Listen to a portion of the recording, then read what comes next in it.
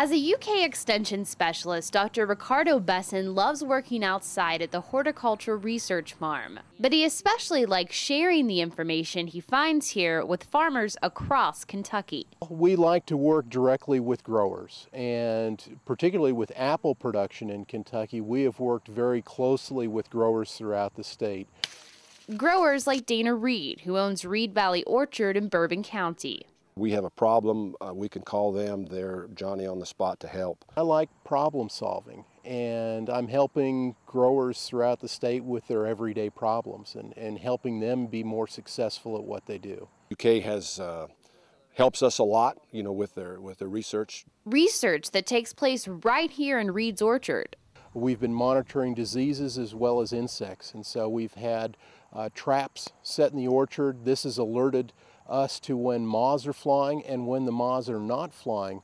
Uh, it's just as important to know when we don't have pest problems as when we do have pest problems. Information that benefits Reed. This type of knowledge saves Mr. Reed uh, not having to apply pesticides during certain times of the year. And that saves on his spray bill. But Bessin's research reaches beyond saving farmers money.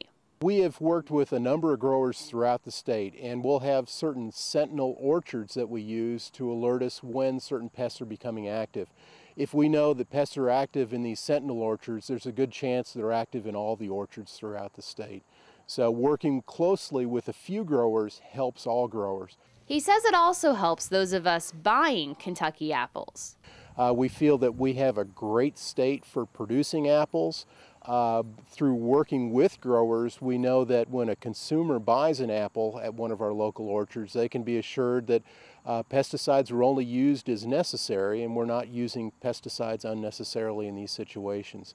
Insight that also helps UK's research goals. It also helps us at the university because we gain a lot of knowledge, we get a better understanding about pest biology uh, and, and pest occurrence throughout the year in our state knowledge that also helps people across the state.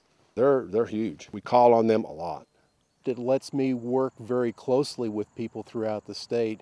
They provide uh, services through the year as far as training uh, with all the uh, ins and outs of what we deal with. Uh, we get training from them on new products, things that we use in the orchard to, to manage the orchard with. So they help us with all those things.